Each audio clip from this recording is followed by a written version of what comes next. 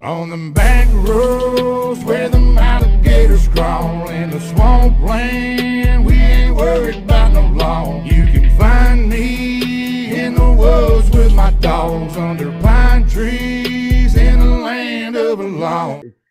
If you would do me a favor, because Yeah. I kind of remember the story that you told me about reality hits. And if my memory serves me correct, when we were talking today on the phone, you said that that song is actually about one of your friends who took their own life. Is that is that correct?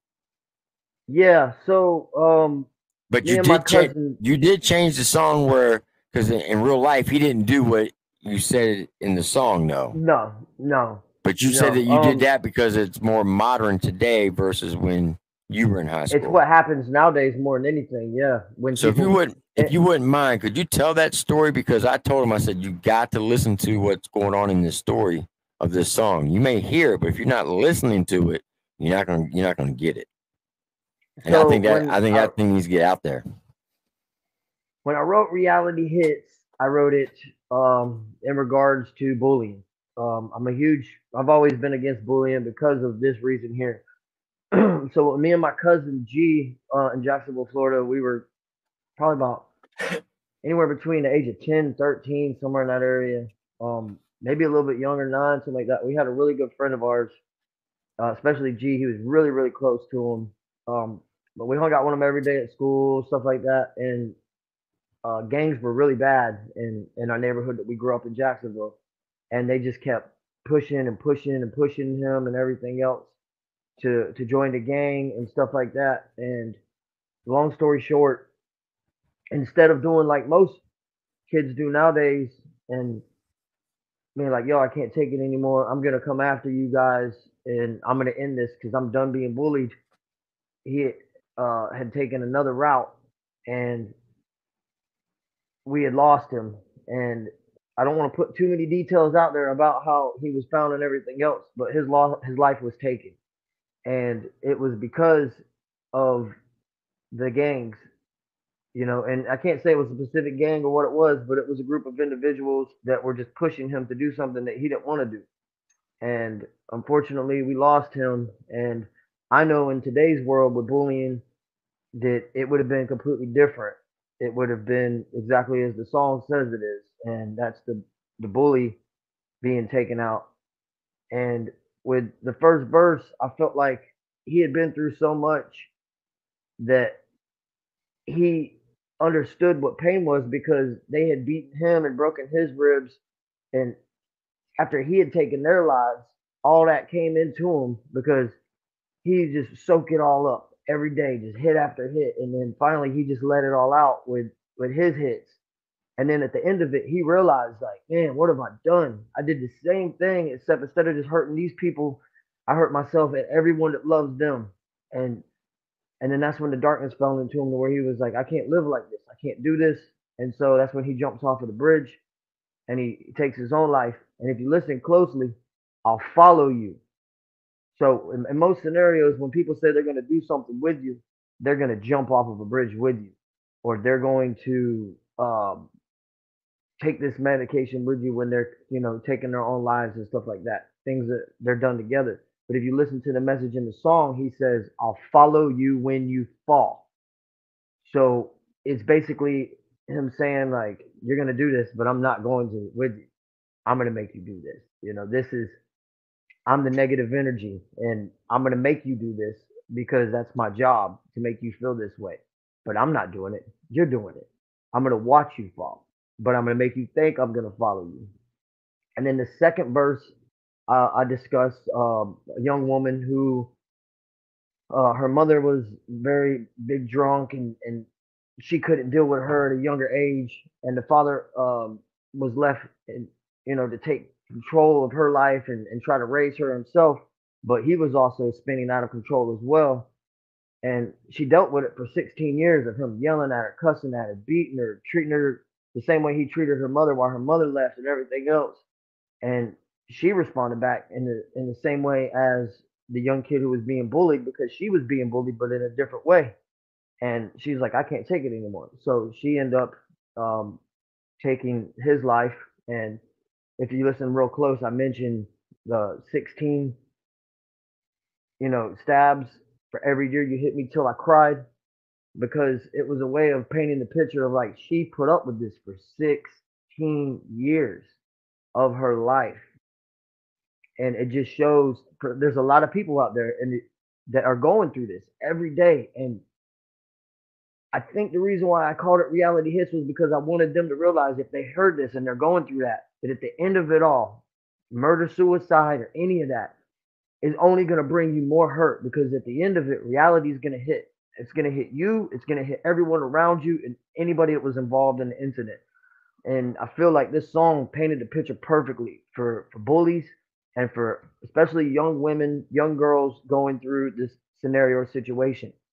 And uh, I don't know, man. There's like there's a true story behind all of it, but I'm not gonna put people's details into it. But just know that everything that we write about, I write about, is real stuff. There's the real life facts behind it. But to protect others, I'm as an artist, you're allowed to switch things around and paint a picture a little bit better for others and without hurting people, but still get the message out there with clear content and be respectful to situations that you are a part of. Um, and I feel like this song did it. And that's why I called it reality hits because at the end of it all, it's reality. It's real. It really happened and it really happens every day. And I've seen it with my own eyes, and I'm sure many of you have. And I tell people all the time it's not who's been through the worst, who's been through worser, or how long they went through it. It's about how we come out of it at the end of it all, how stronger we are through it, and how much we learn from it. And I feel like reality hits the title, the name, the message, the hook, all of it was perfect. And uh, yeah, it's it's all real facts, man. You know, there's there was nothing that we could do to help him because at that point he had already been through so much dealing with it that it became a situation that he didn't know how to control anymore. And nobody knows the true facts behind everything 100% because we weren't there. And it's like Triple T always says, there's two sides to every story, and the truth is in the middle. So, you know, but I appreciate y'all allowing me to share the testimony and the story behind that song and the message to reality hits because I feel like it is probably one of my most powerful songs, if not darkest and controversial of all of the music that I've written recently. So, most definitely, and appreciate you sharing that with us because, like I said, just because you can hear it, if you're not listening, it's totally two different things. And yeah, we talked about that that day, man. Yeah, I really wanted them to listen to the lyrics of it because, like you said, that's that's what's going on in our society today with troubled teens and you know with the suicide rate and the abuse rate that's going on across this country. And that song really, I mean, I gravitated towards that song so deeply that I, I love it. It's definitely on my playlist. I can tell you that. I, I mean, knew that, I knew that if if I had if I'd have been around Boss in, in Tennessee and stuff, the video would have probably been a dynamic video and a great story to go with it. But I didn't have that capability to do a video like that. But I knew I needed to get a video out there, and I wanted it to be a lyric video too. So I found a way to film myself and give it the image of me being on top of the world mm-hmm. with the world below me. So I'm speaking to, like I felt like I was talking to everybody. Yeah, and, most definitely. And uh, I feel like it, it it painted the picture for me, and it's doing very well, man. It's at a thousand thousand views in a month. So thank you so much to everybody that's helped make that happen. It means the world to me because for me to see numbers like that, y'all have no idea. Like it just it blows my mind, man. It blows my mind, and I owe it all to everybody um, and especially Outlaw Nation.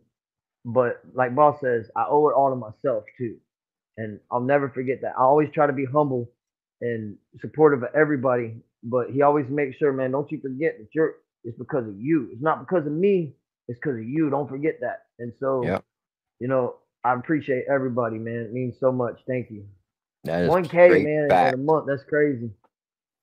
Yeah, compared to some of your stuff from the past. Like I said, yeah. Whatever after hostage, keep emulating exactly what you're doing. You I said if you do, your numbers are gonna grow. And I'm just saying, I, I don't know everything, but I know a little something. I believe your numbers have grown. Oh man, significantly. Just it's it's amazing watching it. And like I said, I'm so close to getting monetized. Um, and I want to do a giveaway. Uh, just everything that's been going on. I haven't been able to do a giveaway for hitting 1K, but now we're about to hit 2K. So I Mhm. think I'm just gonna do a giveaway for 2K once everything gets settled down and uh, we get in a nice permanent place. But uh, it's definitely it's definitely a significant change in the career path, man. Well, if you don't mind, could you tell the story? Um, because you you presented hostage to uh Rita Rita's husband, correct? No, so okay, the story behind uh, No, I'm talking about where wasn't it Rita's husband who told you to slow it down? Oh yeah. So it was New Year's Eve. We were doing the show in North Carolina. Y'all got to hear this story. It's amazing. so it was New Year's Eve, and uh, it was me, uh, Miss Rita Smith, and uh, Cajun, which is Randall Smith. Rest easy, brother. Um, it was New Year's Eve. We just got done doing the show in North Carolina, and uh, I didn't have a place to stay at that time. I did. I had a. place. I could have stayed anywhere I wanted to with any of uh, Outlaw Nation members and stuff like that. But um, Rita and uh, Randall offered me a place to stay in the room in the apartment, and me and Randall sat there. And for those of you who didn't know any of this, uh, Randall is a, a songwriter, um, musician, and so he completely opened up to me. I mean, we sat there for probably four or five hours, man. New Year's night, just sitting there after the show, talking and discussing music and songs that he'd wrote and some of the most beautiful songs, man. The lyrics in them are so powerful. I think it was called "The Single Tear" or "The Last Tear" or something he wrote. I have to get with Miss Rita and get a copy of it because I want to hang it up in my studio. But um, we had sat there and we were talking about it, and he was like, "Rilla, I just want to be real with you. Um, I think you're an awesome artist. Uh, you're definitely on the right team, on the right path, but you're such a fast rapper that I don't think anybody has had the opportunity to really listen to you yet.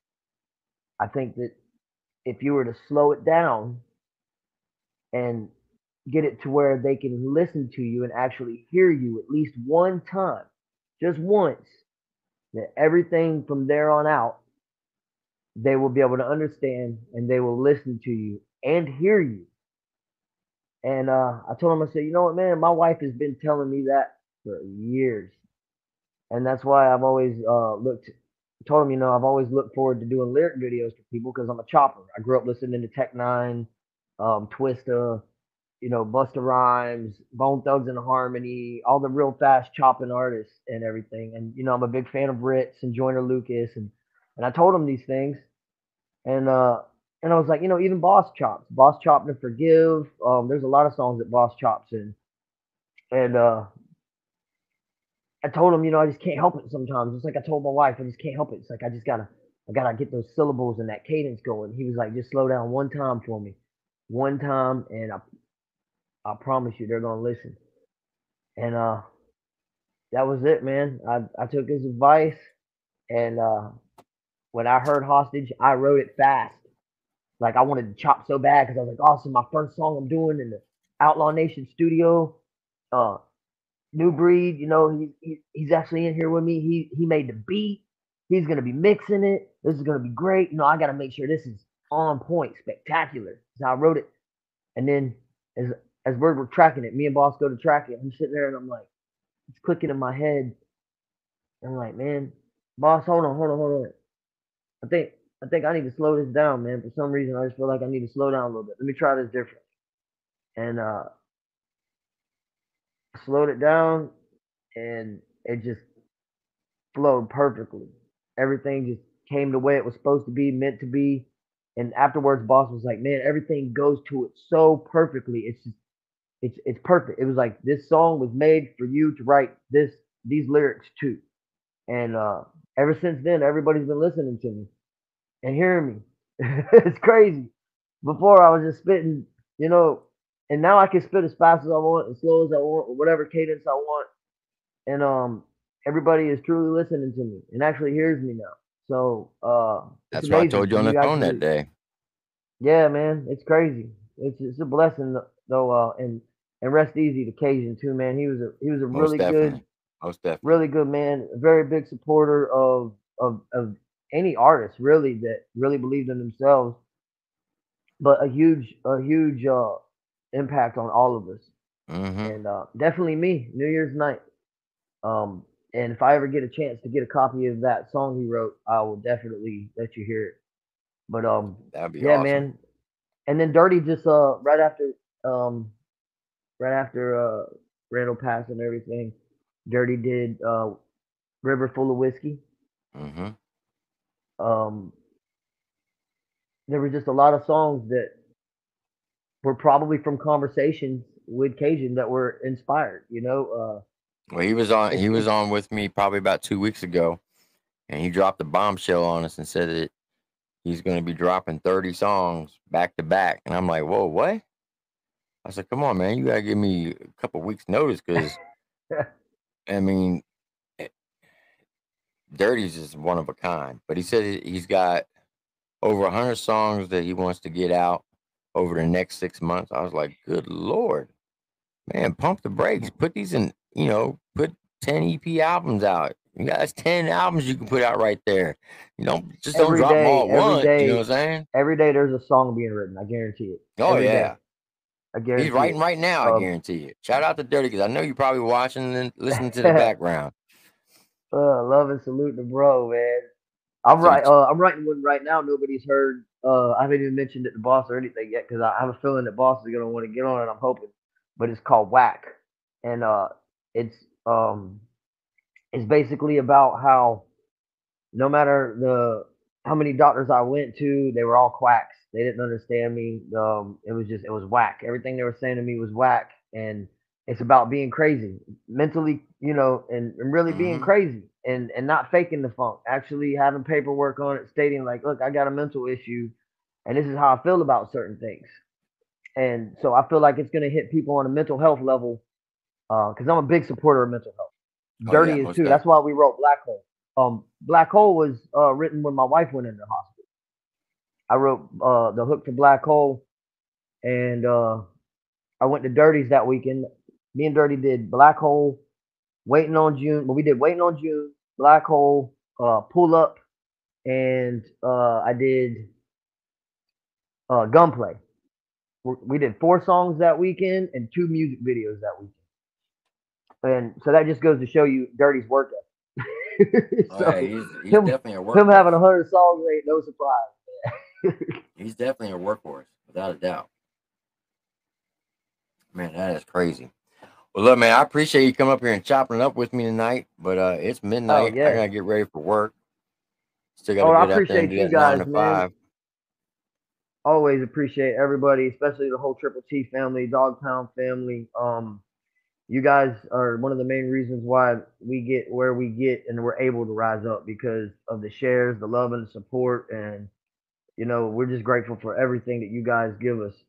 Even even and it's just like with the soldiers, you know, the little yellow ribbons mean so much. So when you see somebody with an Outlaw Nation sticker or, or keychain or anything like that, it's the it's the same same love and same response. We just appreciate y'all, and especially you, Triple T, because you've been like a big uncle to all of us, man. Like just you always keep it real that, too. I, I yeah, you keep it that. real too. If you got to be hard, you got to be hard. If, you know, it's uh, it's like we said in the military. What take the hard right over the easy wrong. That's it. And I, and I've said this to you and over the phone. I said it to you face to face, and I've said it online.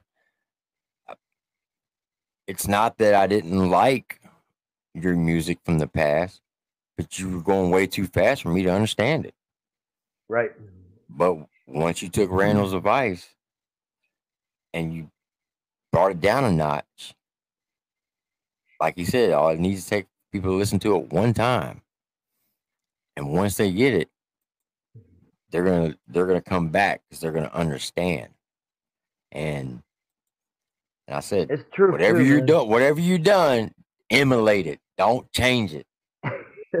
and you haven't. You have not changed it. You have not. You keep emulating it, and man, I'm just so proud how far you have progressed in the short time I've known you. I've known you now almost two years. Um, yeah. You you definitely come a long way, a very long way. Thanks, brother. I mean, the so first much, time I. That met you was in. Sparta, and Yep. I was like, uh, yeah, all right. Because me and Mikey, we every time we go to the show, when we get in the truck and we get riding back to his house, we'll sit there and we'll break down the whole concert, and we basically critique all y'all's performances. And that Right. first that that first Sparta show, I was like, "What do you think about what's that guy's name?" He's like, "Who?" I said, "The guy with the," because you had a, a funky haircut back then, and Oh, uh, yeah. that was everywhere. with, with those mismatched socks and I, I don't know what's his name. He's like, you know, Mike. I don't know. Okay, Oh, you know who I'm talking about, right? He's like, yeah. I said, what do you think of him? He's like, honestly, I couldn't understand a word he was saying. I said, me neither.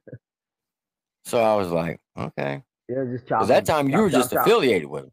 Because back then it was Yeah. you, Big Cat, and Coy, right? Yeah, me, Big Cat, Coy, and uh, Mikey, Adrian. yeah, Um. at Asian Raps. Yep. And Ad- Because the only Adrian was, actual uh, members were were uh, at the Sparta event was Nu Breed Jesse, your boy Dirty, and ODR. Yep. Those were 100 percent Yeah, members. but It was crazy, man. Because I you- remember you were doing interviews with everybody, and I was like, man, one day I'm gonna do an, an interview. I'm gonna get get able to do a real interview face to face with these guys.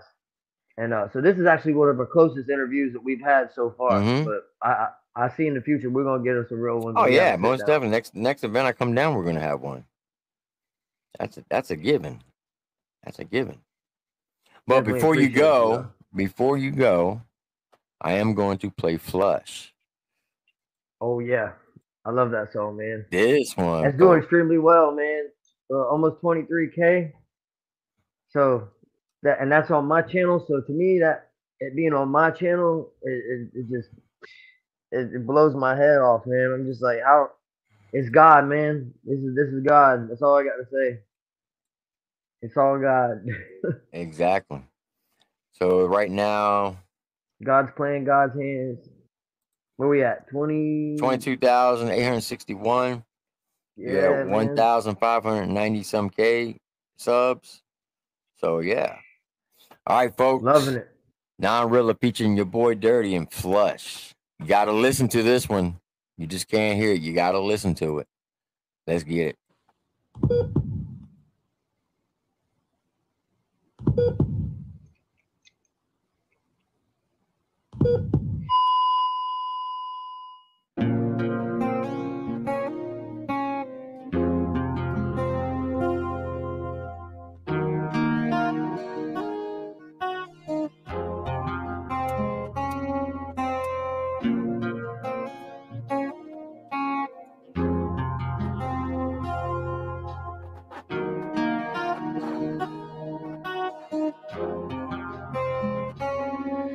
I know, I know better, and nothing else seems to work the same. Know the weight only gets heavier, and I'm sure this bridge will break. So let me prop myself up and call up. What's his name? Cause I know.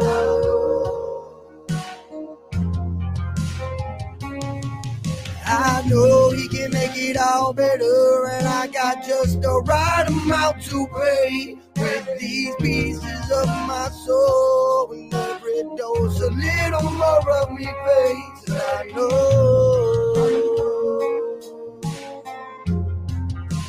Yes, I know.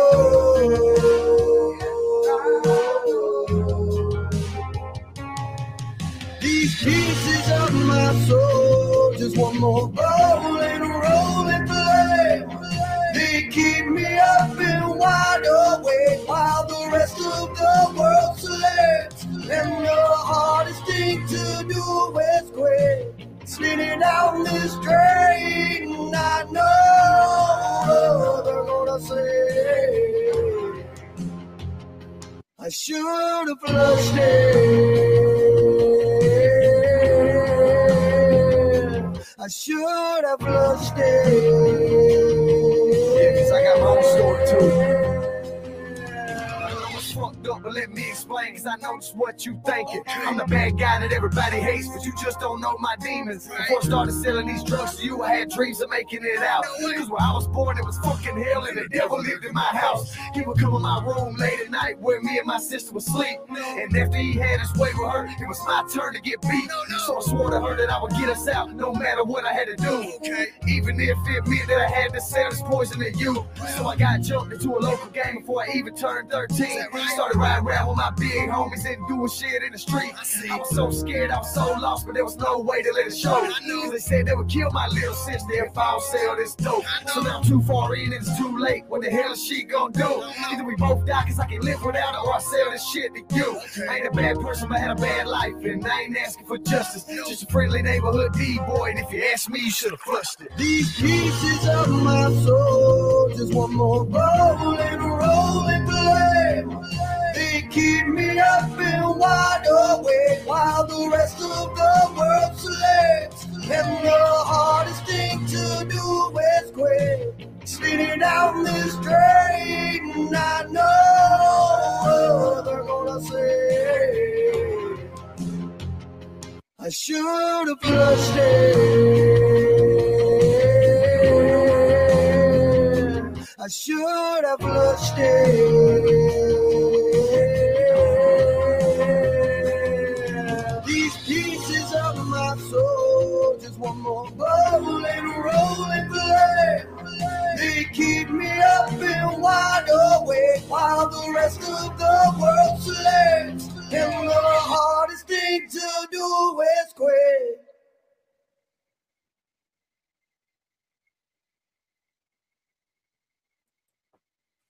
That right there is fire. And I love y'all for that, man. Yeah, that, That is a banger. That has such a strong message to it. Oh my God. Shout like out I to said, Beats by Drew, man. He he did everything, the chord progression and all, wrote it all just off of me singing it with the lyrics. He wrote it all, wrote all the chord progressions, riffs, drum pattern, everything, all in a day. We did all that in one day. It, it just, it was just, it came together. It was meant to come together the way that it did, and the message is there. The content is clear. Um, and my favorite scene is the very the the one where me and Dirty are in the car. I feel like that's the best scene because it really paints the picture of our friendship, the D boy and the addicts friendship building and growing and seeing Mhm. like, man, like I really don't I really don't care about what you're going through because because because this is my job. I gotta do this. I have to do this for my family to take care of them. So you you know you feed them my family, but then like we make so many transactions together that me and Dirty start to connect, and then you know we're we're laughing and joking, and then you know you just start to see it in his face where he's just like, man, I hate doing it to this dude, but it just paints the picture so perfectly, man. That oh, it's definitely well well acted out, well performed. The lyrics was on point. The vocals was on point. There's nothing to find wrong with that song. Nothing. And if anybody ever says there is, then they're just need to go get check their hearing and get Jesus in their life because they're whack. definitely um, appreciate that, man. Like I that, feel that like right it's the there type is of just, song that it's awesome. how could you hate it? You know, yeah. How could you hate a song like that? It just it wouldn't make any sense to have hate for a song like that. when it comes there's to so many like people going through it. Well, when it comes to messaging, Flush and Reality Hits right now is on point. I think those two songs need to get out there. Everybody needs to share those videos, get it in people's hands who need that help, and maybe it'll turn somebody's life around. Appreciate that so much. I really do. Triple T. But I think that I every every night when I lay my head down, I go to sleep. Some you know, it's hard to go to sleep with uh nightmare terrors. You know what I'm talking about? Like Oh, it's hard to go to sleep. Your your head's just running. But before I lay my head down and really close my eyes and go to sleep finally, um, and usually I watch Addams Family, the old black and white Addams Family, to go to sleep. It really brings me down to a calm level. Um, but uh, before I do, I always pray and I always thank God. Like, thank you for letting me be one of the the elements and the tools to to help save so many. Because it's so hard to reach the ones so close to me. Like, I have so uh, it's so hard for me to reach the ones with my music that are so close to me. Like family members and really close friends. I can't reach them, but it's reaching so so so far vast of a majority of other people with the with the messages I get and it's like I know I'm doing good and so I'm grateful for it even though I'm experiencing so much pain because I can't reach the ones that are so close to me I know that I'm saving others and as and as long as that message is getting sent and it's it's, it's hitting people that need to hear it or, or watch the video man I'm happy. I can't be upset. I can't be mad at anything going on. Um and uh I think that you know I'm hoping that maybe maybe one day that uh the message will get to those that are real close to me. And uh a It lot of this this stuff can can come to an end. But uh until then i'm just gonna keep pushing the message and i know that Outlaw Nation is gonna continue to do so and so will black sheep family entertainment Yeah. um because we've all been through it and i think that's what makes it so easy for us all to talk about it because we've all been through it so uh thank you so much flush is just i every i just think about it all the time man i should have flushed it you know how many people Yeah. how many people The how many what people if think that game. way Yeah. You're right. yeah Well, look, now, I really appreciate you coming here and chop it up with me. Um, I am going to take about 30 minutes of, of your time up here tonight and put it on the Dog Pound channel. I like a, a short, somewhat of an interview, but it's not an interview. It's just basically chopping it up with each other. But I do have to get off here as I got to get up and go go to work early. oh, But I no worries man thank you for your time I appreciate you coming up here and chopping up with me. And like I said, if you need anything, you got my number. Reach out to me, and I'll do whatever I can to help you. Well, dude, man, I'm glad I got to uh to actually sit down and because we've been talking about it, you know. I'm just glad I got to sit down and finally reach out to you and and everybody, the Triple T and Dog Pound family, and uh actually have some good conversation time with you. And uh again, man, thank you so much for everything that you do for all of us, especially all of us at Outlaw Nation. We're we're so grateful for it, and we love you for it, man. Thank you so much. Hey, I appreciate that. But look, folks, I'm gonna put the link of that song in the chat. Please go over there and click on it. That way you can get straight to his page. Subscribe to him if you're not subscribed to him. Make sure you hit that notification bell, that notification button. That way you know whenever he drops a video. Tell him I sent you over. Show him some love. I promise you, you won't regret. Because this young man right here, he's on the rise to the top and you want to get on that train now before it gets out the station. So Nu Breed, I mean, ah, Nu Breed. now, I really I appreciate you coming up and chopping up with me, man. But I'm gonna go ahead and end this stream. So I will catch you on the next one, okay, brother? 10 4, brother. Much love. Y'all stay you. All Rise right, up and salute. there you go. All right, Triple T, y'all know the deal. Be kind to yourself. Love yourself, love your family, love your neighbors, to include your friends. Do unto others as you wish them to do unto you. And as always, God bless you and God bless America. This is Tim with Triple T live stream. Remember, this is not my channel. This is your channel. And I'll see you on the next one. You all have a blessed day. And I'll see you on the next one. On them back roads where the alligators crawl in the swampland, we ain't worried in the woods with my dogs under pine trees in the land of a law.